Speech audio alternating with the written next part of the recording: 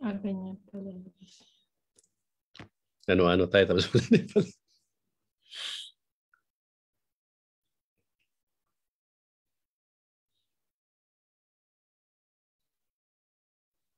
Ano-ano tayo tapos. Ah, ah, baka merong mga ano dyan, gusto mag pa, pa-accept. Okay kayo. Ah, baka So, merong mga ano dyan. Gusto Ah, live tayo sa Facebook. Ah, um, baka may magpa-accept. Um,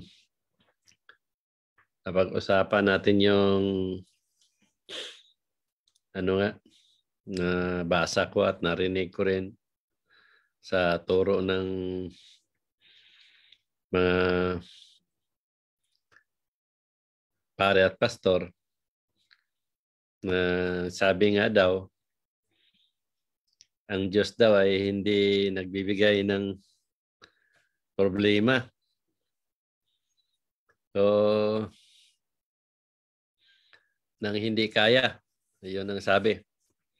Alam nyo, natatawa ako sa toro na yan eh. Ah, kahit sa mga pare, sinasabi na nila eh na ang Diyos daw ay hindi nagbibigay ng problema sa isang tao na hindi kaya. Ah, sa akin kasi, hindi ako naniwala na ang Diyos ay nagbibigay ng problema.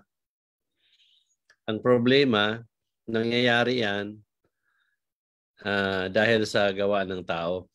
Na alam nga ng tao, pakishare mo Nancy, ba Barcelo. At baka gusto niyo magpa-accept ah, sa Zoom, pwede rin. Ah, dahil nga alam ng tao na ah, masama yung bagay na yon at hindi niya sinunod, ginawa pa rin niya, so nagka-problema siya. So ngayon, pag nandoon na siya sa problema, kaya sabi niya na ah, sinusubukan siya ng Diyos kung baga. So, yun yung turo talaga na nakakatawa ba. Kasi ang Diyos hindi talaga nagbigay ng problema yan. Ah, kung tutuusin eh, kung ako ang Diyos, bakit bibigyan kita ng problema na alam ko naman na kaya mo. So, hindi na ako magbigay ng problema. Tsaka, yun nga, hindi naman talaga ang Diyos magbigay ng problema. Nangyari lang talaga ang problema dahil sa paniniwala ng tao. Naniwala ng tao na ah, hindi dapat gawin dahil pag ginawa niya yon magka-problema siya. So, ginawa pa rin niya. So, ayun, ah nung nandoon na, eh, sinasabi na kagad na sinusubukan siya ng Diyos. So nakakalungkot ba isipin ba na ang Diyos pinagbintangan nila na nagbigay ng problema tulad ng nagkasakit. Pag nagkasakit na, ah, sinasabi ng mga pare at pastor na nagkasakit dahil pinalalahanan ng Diyos kasi hindi na nagsimba. Na kailangan magsimba. So, itong mga turo na ito, talagang nakikita mo talaga na malayo sa katotohanan. Kasi nasa turo na nga na ang Diyos ang pag-ibig, pero itinuturo pa rin nila na ang Diyos nagbibigay ng problema o sakit. Pero hindi iniisip ng tao na ang mga bagay na yon o sakit ay dumating talaga sa buhay niya kasi sa pag-iingat. Hindi niya inaalagaan ang sarili niya. Sarili niyang kalusugan. Kung ano na lang uh, kinakain at alam niya na nakakasama, kinakain pa rin niya. So, dumating sa punto na nakakasakit siya. Pero ang sinasabi ng tao na nagkasakit siya kasi pelahanan siya ng Diyos, gawa nung nakalimutan niya ang Diyos. Yun yung masaklap no na masakit para sa Diyos ba na pinagbintangan siya na siya ang nagbibigay ng sakit na hindi naman gawain ng Diyos ang magbibigay ng sakit. Kaya doon ang tao nagkakasala uh, sa turo na yun. Kaya, kayo nga ang pagbintangan.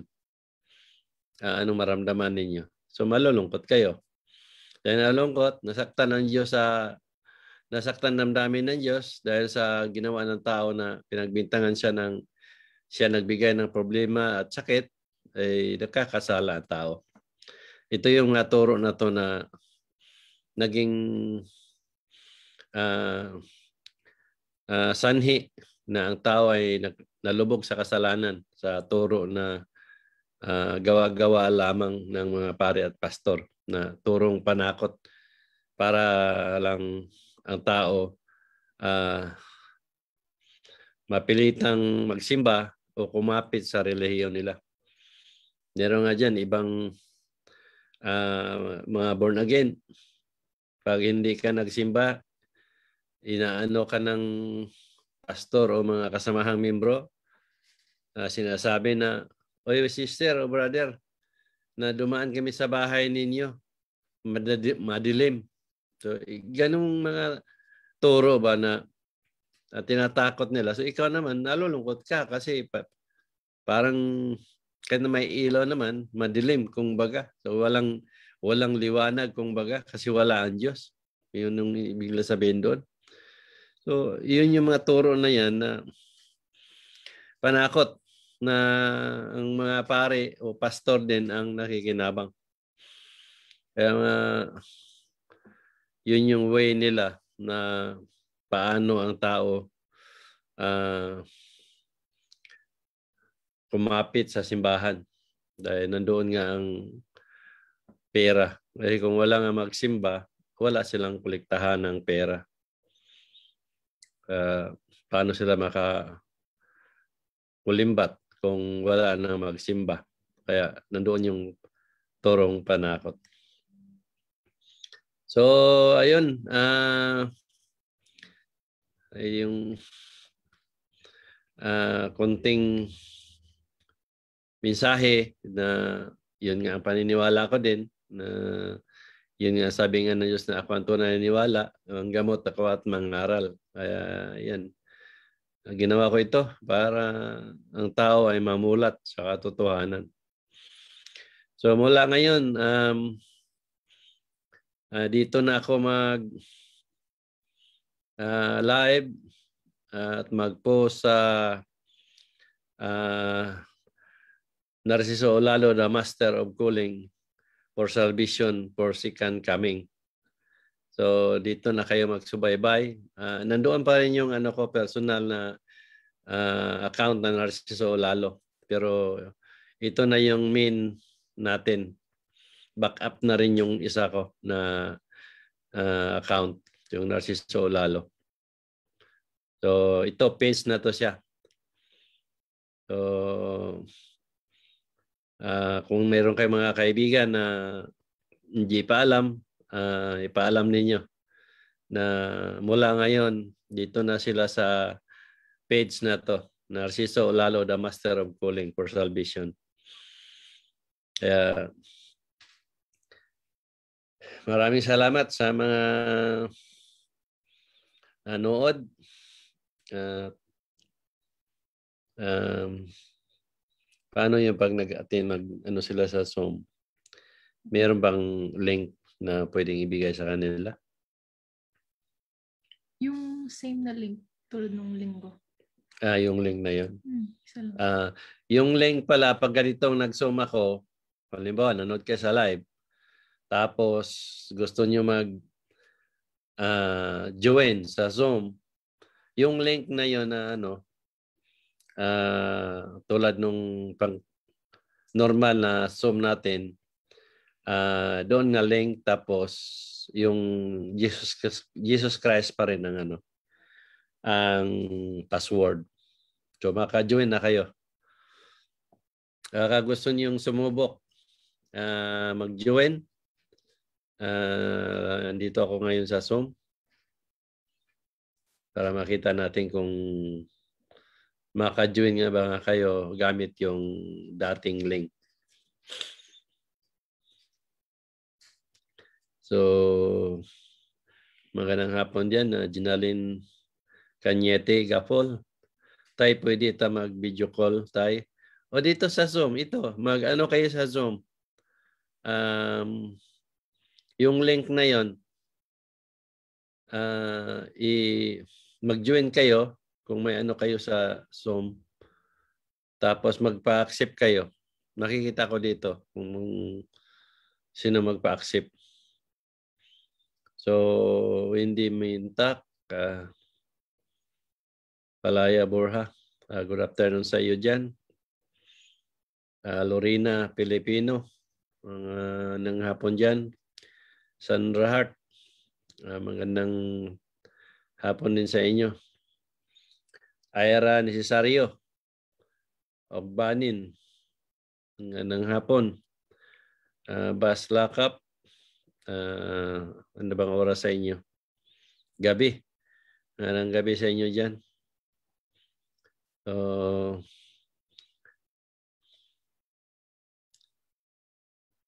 uh, Irich. Ngayong tanghali sa inyo dyan. Elma Lumutos. Ngayong hapon. Delia, Austria. Ngayong hapon dyan. May nag, ano yata? Ayra.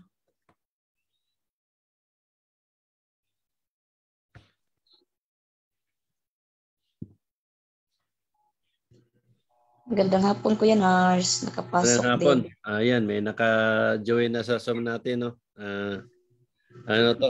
Uh, unang ano? Unang tag ano? Unang hirit. unang hirit. Ba't madilim sa inyo? Akala mo nasa abroad ka. okay, Nars. Sa sus kwarto, Kuya Nars. Nagligid-ligid. Mura na gilimot. Mao. Oo. Mo na ni atong Zoom puhon Kuya Nars. Amo na Dire ni siya. Ah, oo, sa akin na to na Zoom. Lagi nakabutang bitaw Kuya Nars. Nagkat-o na juga Kuya Nars da. Ito, ah, ano, ah, slowly, ano, upgraded. Hello, ah, Delia. Ito na tayo sa personal Zoom natin. Ah, ah, ah, tulong ng ating ano mga kasamahan na nagkaroon tayo ng ano personal na Zoom para ma-upgrade naman din siguro. Maganda rin yung ano ganito anytime pwede ako mag ah, live sa Zoom at the same time ah, live tayo sa Facebook. Pwede rin sa YouTube, direct din sa Zoom. Ah, Zoom, YouTube, ganun. So, malaking bagay na yon na na-upgrade. So, musta kayo dyan? Okay lang Kuya Nars. Kuya Nars, nawala lagi itong Zoom na to atong Domingo Kuya Nars, no? Ah, nandoon yun, ano lang, ah, may mga part lang na talaga na ini-edit. Ah, mo di ay. Ah, kasi, ano eh, mahaba, di ba? Ah, Mahaba Oo. yung, ano, so, so, mga ina, inakat lang yung iba para maikli. Ang live sad na katong gi-share na ko Kuya Nars kay nawala. Akong Mm. gipangita. Abi na ako gi-report na sad sa tiki. Ah, wala, yung, yung ni-live ko, Katong ka nga tiki Kuya Nars katong nag-zoom si tiki pa man to ang nag-live. ah, Nawala. Akong gipangita. baka nasa, nandito sa page. Basin pud Kuya Nars ako yato pangitaon. Oh, nasa page na, siguro. So, Delia, kumusta? Mabuti, Brother Nas. Mabuti naman. Maayong adlaw sa imong tanan. Mm. So ano, anong gamit ninyong ano, uh, Leng? Yung pa rin ano? Yun, yun pa rin, Brother Nars. Sinubukan ko lang kasi nagluluto ako. Mm. Uh, yun pa rin, yung 43, 48, pasok Narciso lalo. Ah. Mabuti naman at least ano, ah, alam nyo na rin, sana yung iba ah, at nanood sa live natin sa Facebook, um, Mm. Alam na rin nila kung paano mag-join sa Zoom. So anytime pwede ako mag-live sa Zoom uh, directo ano sa Master of Calling for Salvation. Okay, Nars. So, okay, okay 'yun. Uh, direct na. Namiss namin yung mga live, Brother Nars. Oo nga eh. Ah, maraming akong ilalive taga kasi ah, sayang ba na ano para ang tao talaga eh mag mag-isip. Eh makikita naman talaga natin yung pangloloko nitong mga reliyon talaga na magsamantala ba sa mga tao ba? Ang kahinaan ng tao eh sinamantala nila. Uh, hello, Eh, palit- Magandang hapon, talaga brother na kumukunti ka lang. na maulan po sa amin. Ah, dati na yung ulan eh. Sobrang lakas ng ulan. Dito sa amin, Brother Nars, first time daw, ang daming mga sasakyan na inanod. Oh, First time nga, pero pag ah, ang ang tao magsasabi sa akin, dati na yan, di ba? Grabe ulan nung nakaraang araw. Hindi lang naman sa inyo, Uy, parang ano na, pati, pati naman sa amin din. mm, Baha. grabe. Pero First time kung, na ano yung mga kotse, pero kung, yung ano lang yung ah, tuk-tuk lang ang mak- oh. Pero kung unawain natin yung pero mga tao talaga ano, yung sabi niya na ihigop, ipapahigop ko ang tubig dagat, dadalhin sa ipapawid at ibo sa lupa. Yun na yun. yun na yun. Oh, Tama, mga brother. ano doon eh. Mga buhawi, tornado. Kaya mula noon nagpusa ako noon, yun na yun nangyari, di ba? Ulan na halos walang humpay. At saka minsan, ulan niya isang oras lang tapos grabe na ang baha. Tama. Kaya, kaya yung post ko sa Cagayan de Oro na ah, tumbukan talaga yon yung sabi niya na kasabay ng pagtaas sa tubig sa dagat. Talagang tugma talaga yon Nangyari yun. Kaya kahit naman marami talagang ano nagsasabi na dati na yan, nasa science na yan, pero di ako apektado nun. Kaya wala namang nakapagsabi sa science na mangyayari yun. Kaya malinaw naman talaga na ang Diyos nagpaalala na. Hindi na Okay. nga, hindi na nga. Muna ako sa Zoom, brother na. Sa ano muna ako manood, Facebook. Oh, sige, sige, okay lang. Oo. Salamat. kasi nag- Nagluto ka pa naman. Baka masunog. Nagluluto. Oh, sige, maraming salamat. Oh, sige.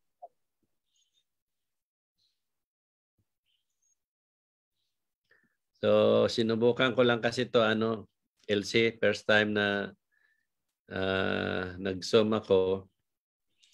Ah, tapos nag-live sa ano, Master of Calling. Ah, sa inyo po itong ano, page. Oo, Sa sa inyo. Oo, oo. Kaya si Ira ang ano, may namano. Siyang nauna eh. Tunod si Delia. Akala ko po, ano, kaya kayo, sa ano, pagtingin ko sa yung, Facebook yung naghahamon sa inyo. live. Ah, wala, Live.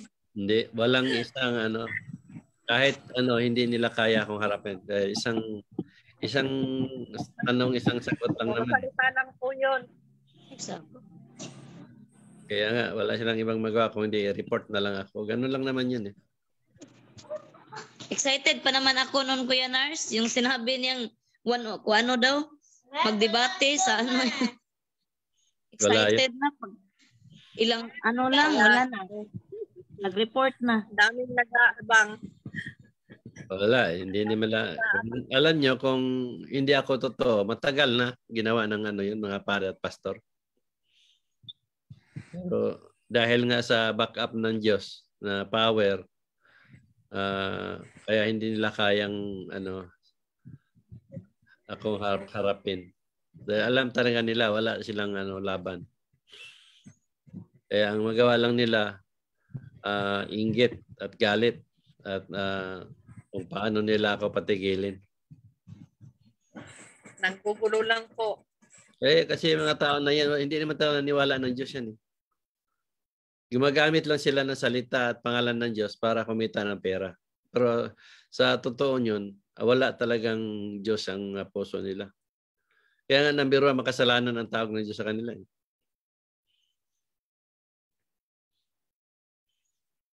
Kaya, sige lang. Tuloy-tuloy lang ako. Keep going. Alam ko talaga na di, di ko pa naman ah, alam kung hanggang saan ako. Pero hanggang may buhay, sige lang, sige na sige. Lahat naman tayo mawala talaga. Salamat po. Pero Nandyan ka po para sa amin lahat. Salamat na marami kay Papa Jesus. Sana marami din pong magising. Oh, alam ko, marami na talagang nag-iisip. Kasi yun nga, eh, malinaw naman talaga yung ah, paliwanag ko at paniniwala ko na yun nga sabi nga ng Diyos na ako ang tunay na niwala sa Kanya. Kaya pinagkalooban niya ako ng power of mind. Na malinaw naman din ang power of mind kung anong laman na nagkatotoo naman talaga lahat nangyari. Kaya wala namang duda.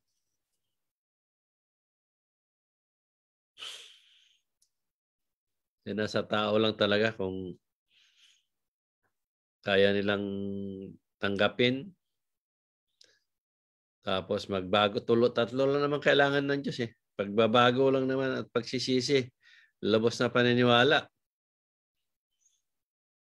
Kaya lang, masakit sa kanila gawa nung ang laging laman ng bibig ko eh yung mga pinaniwalaan nilang pare at pastor na sinasamba nila, na buong akala nila na pinagutusan talaga. Yung nga sabi nga ng ibang pare at pastor, isa na si Antonio Procalya nagsabi, yung mga naniwala daw sa akin ay binulag ko daw. Kaya ang sago sa live ko, kung napanood, hindi pa niyo napanood siguro, napanood ba ninyo na ah, kung may kung may nagbulag sa tao, sila 'yon. Kasi wala silang maipakita. Sinabi nila na ginamit sila ng Diyos, pero wala namang backup ang Diyos sa kanila. Tapos ang tao na iniwala. So ang tao ang bulag sa turo nila. Yung uh, turo nila na ang dasal ay powerful. Nakita naman talaga na natin na hindi. Ang tao na iniwala. Ay, brother lang. Ha? Excuse me po. Mag-anniversary po ang El Shaddai. Ang kontribusyon, 2,000 bawat pamilya. Nako. Kawawa. Yung manggagawa ko po, yung manggagawa ko, oh, umattend ng anniversary po. Ah, Kawawa. Bumali pa sa akin para lang may pambigay. Nako. Eh, eh, Kasing papaniwalain ng ang loloko ng harap, Uy, harap, dal- harapan yun. Grabe. Para sabi Kaya- ko, parang hinolda sila. Kaya nga, mali na naman doon eh. Na pangloloko eh. Biruin mo yun. Eh, billion siguro ang nalikom nila kasi marami po sila eh. Oo naman. eh dal- dalawang libo bawat Kaya pamilya. Kaya nga ang mga tao na yon, matawag natin talaga na napakatanga. Yun nga Oo, masabi talaga, tanga kami. Pag sinasabi ko talaga yun, kasi Alam mo naman talaga na niloloko ka eh. Eh bakit pinahintulutan mo? Di ba? Eh, yun nga po yung yung pangako na pag nagbigay ka ng ng piso, sampung beses na balik. Kaya iyon ang pinapaniwalaan nila. So kaya nga, yun nga yung sabi ko na ang tao talaga napakatanga. Eh ako naman, hindi ba ako nagbigay ng simbahan eh. Hindi ko nagbigay sa pare. Eh. Never ako nagbigay sa pare. O bakit? Nandito ako. Okay naman ang buhay namin. Marami namang biyayang dumating sa buhay namin. Di ba? Tama po. Yung ang turugan nila na pag sinaway mo ang pare at pastor, kakarmahin ka. Kaya ang tao natakot mang sumaway sa kanila. Pero ako naman, oh, umabot ako ng 12 years kasasaway sa kanila. Siwalat sa mga baho nila. Oh, Hindi ba ako kinarma? Di ba? Ang sumaway sa akin ang mga na disgrasya. Sila ang madaming nangawala, na madaming na na umani. Na Silang nakarma. ay, basta, yun ang sabi ng Diyos na tuwing nasaktan namin mo, lagi may kapalit. Nangyari naman talaga sa kanila. Pero yung sinabi ng pare at pastor na pag sinaway sila, eh, karmahin, ay, kung kinarma ako noon pa, hindi na ako, hindi na ako abot ng 12 years. Di ba? Tama po. Tingnan niyo Opo. yung ah, ano ko, sinasabi sa laban sa kanila. Di ba? Hindi, ipakain mo sa aso yan, suka yung aso ba? Oo. Oo, totoo yan. Pero Kaya nga po nakakapatay nila yan eh. ako pa, ako pa ang makakita ng kasalanan ng tao. Ako pa makita ng parating. Kaya yung kanila, sabi lang nila yon panakot ba sa tao para ang mga gawain nila magpatuloy para walang pupuna. Yun ang purpose nila doon sa turo na yun. Para walang kontra. So, para walang kumontra, para magpatuloy ang kasamaan nila. Kaya kung totoo yung sinabi nilang karma, ay, hindi lang, kung ba't mahaba na isang taon siguro. Hindi ka sila makalapit sa akin eh. Para silang kinarma kasi hindi sila makalapit. Di ba? So, ganun yun. Kung talagang totoo yung turo nila, wala na. Tagal na ko nila pinagtulong-tulungan. Kawawa yung kawawa yung mga taga-sunod. Ay, Nagpapakatipid-tipid para sa pamilya pagkatapos i- ibibigay lang sa founder. no, may nga sabi ko sa inyo, napakatanga talaga ang tao, nakapakabubo, inutil na pag-iisip. Ininigyan tayo ng Diyos ng tamang pangunawa, pag-iisip, para gamitin sa tama. Pero ang nangyari, pinaubaya nila sa pari at pastor nila na sila ang magmaniobra. Di ba? Totoo naman eh. Laking, laking Ma. ano po, laking negosyo talaga. Ay, Sinabi mo pa. Sabi nilang pakulo sa simbahan nila. Panakot na to. lang, limpak-limpak na sa lapi. So, torong panakot talaga. Pero ganun pa man, eh, malaya naman tayo kung gusto natin sundin. Pero nakakalungkot lang kasi nagpakahirap ka, ah, halos ka na hindi makakain sa ano, kita mo sa loob sobrang liit, eh bawasan pa nila. Milyon-milyon ang po eh. hinatakot nila. Kaya ang membro, Dahil nagalo- galunggong lang, tuyo. Ang mga pare at pastor ninyo, palitson-litson lang. kahit linggo nagtatrabaho yung mga tao, tapos ibibigay lang sa kanila. Kaya nga, yun nga, mga kapal nga mga mukha niyan, na halang ang kaluluwa. Yun naman talaga totoo niyan eh. Sasakyan. Yung pare na dito sa amin, Kuya Nars ba, may nalaman ako na may apartment siya. Sana Ay, all. Kahit saan yan sila. Madami yan sila.